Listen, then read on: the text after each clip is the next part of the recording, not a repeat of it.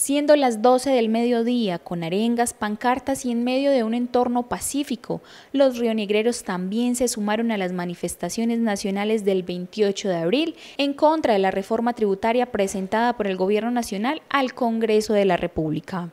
Razones tenemos muchas, pero una de las razones que ha llenado la tasa ha sido la presentación de esa reforma tributaria. Una reforma tributaria que el pueblo en las condiciones que está económica no aguanta más.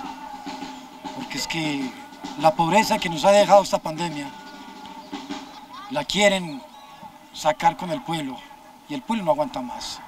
Por eso hoy salimos a las calles a exigir al gobierno de Uribe en cabeza de Duque que no más, que no aguantamos más, porque no queremos esa reforma tributaria, que esa plata que el gobierno ha despilfarrado no tiene por qué pagarla los estratos más bajos. Sindicatos, estudiantes, artistas, comerciantes asistieron a la concentración de la Plaza de la Libertad, en donde indicaron a Acuario Noticias las razones más fuertes que los motivaron a participar de la protesta pacífica.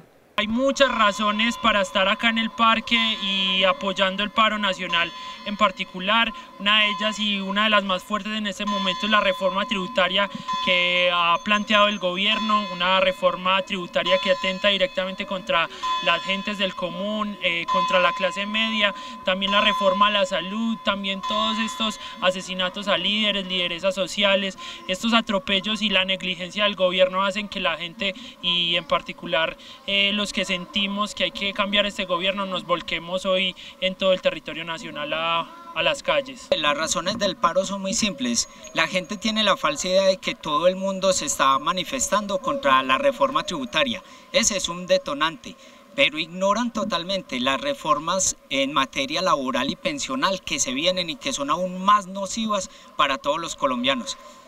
Fuera de eso, las políticas locales.